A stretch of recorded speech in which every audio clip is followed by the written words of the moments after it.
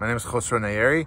Uh, everyone calls me Daniel, which is not really a name, it's just easy to say. I've been telling the story since I learned English at the age of eight when we came to the United States as refugees. My mother had a fatwa on her head.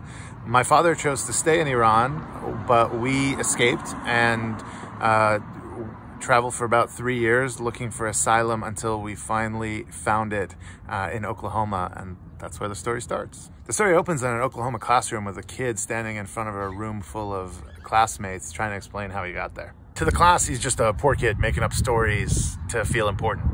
It's got blood sacrifices, forbidden love, libraries in the desert, church potlucks, saffron fields, and a controversial amount of poop jokes. But at its heart, it's about how you can't have truth without love. Truth is justice, love is kindness, and truth without kindness is merciless. Kindness without truth is self serving.